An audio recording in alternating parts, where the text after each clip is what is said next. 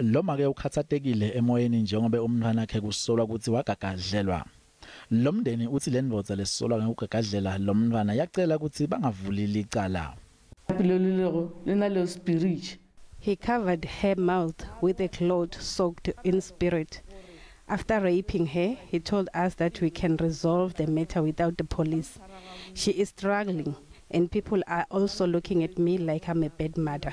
Ke nna mmano a ka kgone go tlhokomela ngwana ngaphandle kwenkantolo emalunga emphakathi labekathukuthele agane lonwabu afuna bulungiswa athi afuna ukuthi lo msolo anganikwa ibhayili The rape cases, some of them, they are not resolved. Then we are saying enough is enough. Then we are saying we don't need him to come out because should it happen that the court uh, give him bail, we might be tempted to take the law into our own hands, and which is what we want to avoid. Then we are appealing to the uh, justice system that to save us, and then we need justice for the kids.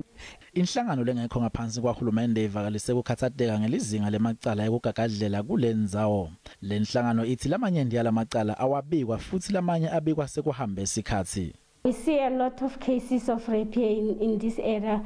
The problem is that they report late and it, it happens to, especially to minors and teenagers. And if they could report earlier, it could help with their cases. The police could do their work better and with the court it could be simpler. leli cala lihlehliselwe kumhlalo kukholwane njengoba kusaphenywa lo utawugcinwa esitokisini